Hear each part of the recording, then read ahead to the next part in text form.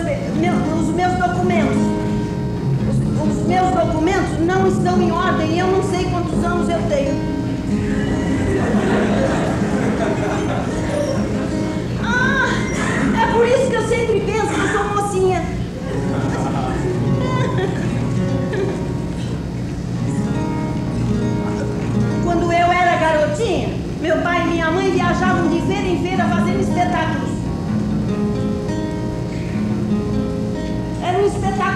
Bons, muito bons.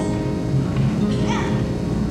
Ah, Eu, eu dava salto mortal assim, assim, e outras coisinhas mais.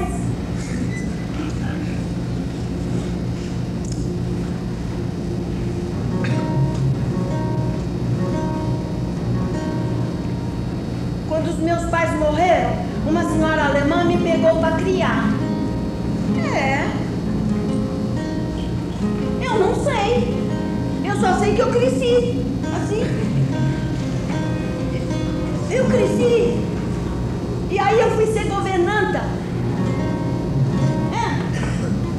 Não, mas de onde eu vim e quem eu sou, eu não sei. É. Os meus pais, quem foram?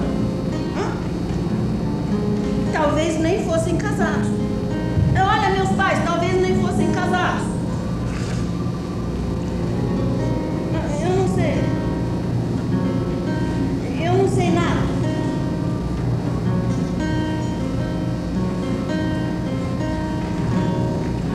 Que vontade de conversar. Que vontade de conversar.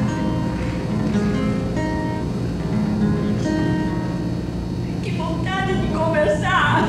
Mas com quem? Eu não tenho com quem falar. Ah, O que me importa é o tumulto do mundo. Que me importam amigos, que me importam inimigos. Como é bom tocar um bandolim. Que bandolim. Isso é um violão. Para quem está louco de amor, isso é um bandolim. Se o meu coração pudesse ter o calor de outro coração. Recebemos uma sorte de poder visitar o estrangeiro, não é, acha? É, não posso deixar de concordar com a senhorita. Compreende? No estrangeiro tudo está há muito tempo plenamente desenvolvido. Plenamente. Eu, por exemplo, eu sou um homem estudioso, é? Eu leio vários livros importantes. Mas eu só não consigo entender o sentido do que eu realmente quero. É viver? É me dar um tiro, propriamente falando? Em todo caso, eu carrego comigo um revólver. Sim, aqui. Não, é, ó, pronto, terminei, eu tô indo embora agora. Eu tô indo embora. É que, Sim. é que o, o, o senhor é um homem muito inteligente. É, muito feio. Todas as mulheres devem enlouquecer por sua causa. Todos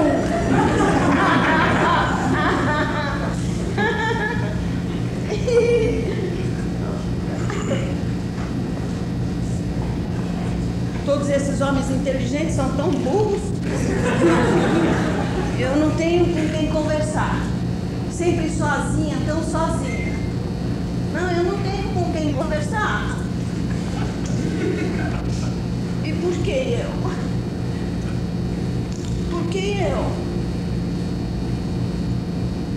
eu quem, quem sou eu? Por que?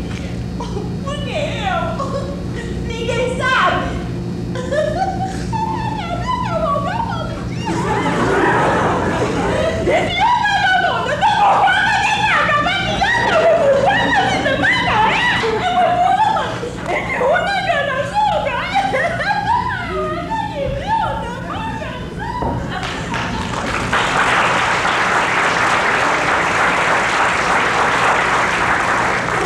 Eu tenho que dizer de mim mesmo que, a propósito, o destino me trata sem compaixão, como a tempestade trata um barquinho.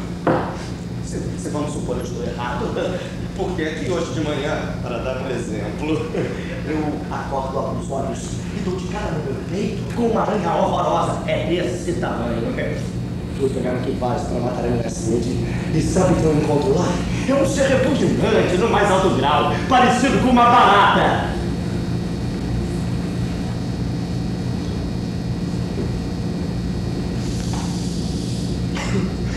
ah, vocês já leram Buckle? Não. Aliás, desculpe mas eu gostaria de dar uma palavrinha com a senhora. Fala. Eu gostaria que fosse a Agora. Não! Não, não, não. Será que o senhor não poderia pegar o meu chale? O meu chale de repente me deu um frio.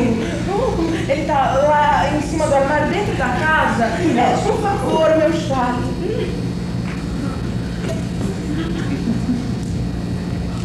Vou, Doniácia. Mas agora eu já sei o que fazer com o meu revólver. Já sei. E agora eu já sei o que fazer com o meu revólver.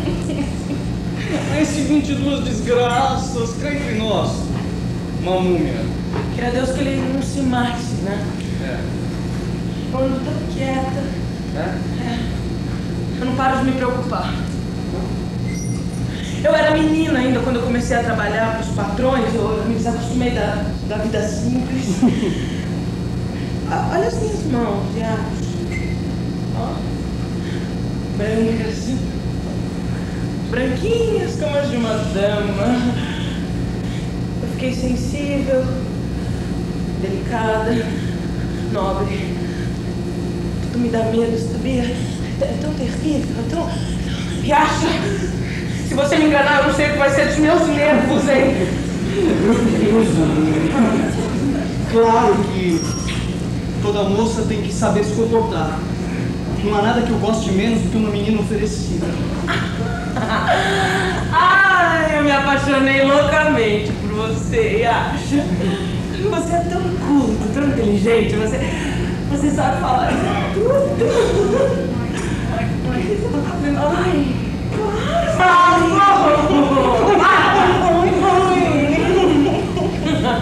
Na minha opinião é o seguinte: a moça que se confessa completamente apaixonada é uma imoral.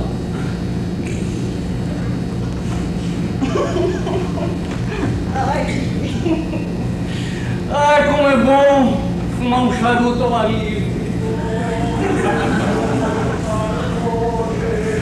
Menino, gente, são os patrões. Vai, vai, vai, vai, vai pra casa. Quando estiver se tomar um banho, aqui, vai. Leva o charuto. Por aqui, por aqui, por aqui, senão você encontra com eles. Eu imaginar que bater um encontro com você eu não suporto. Pensa nisso de mim. cigarrilha me dá dor de cabeça.